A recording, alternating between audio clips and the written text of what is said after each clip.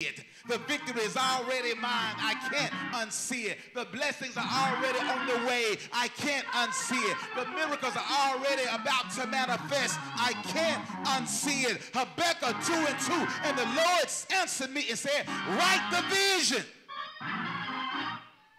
Make it plain.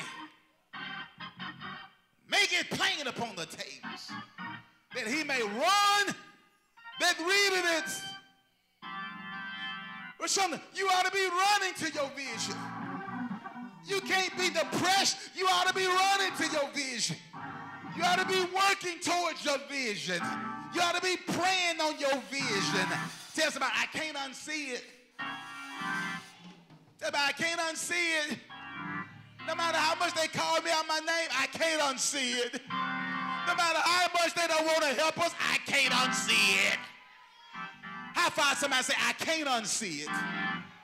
I told you years ago what motivated G.E. Patterson to run for the bishop of the Church of God in Christ when there was already a presiding bishop.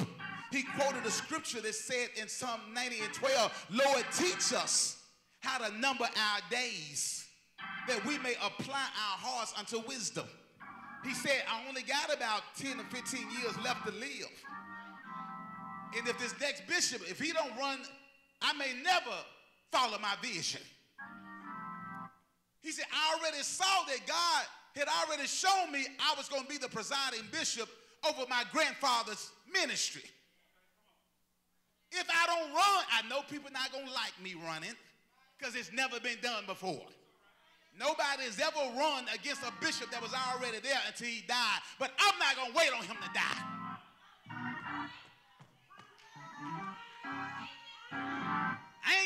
On somebody else to keep my vision. I'm not going to wait on somebody else to bring what God has already shown me that I'm supposed to have. I'm not going to put my vision in the hands of somebody else. I got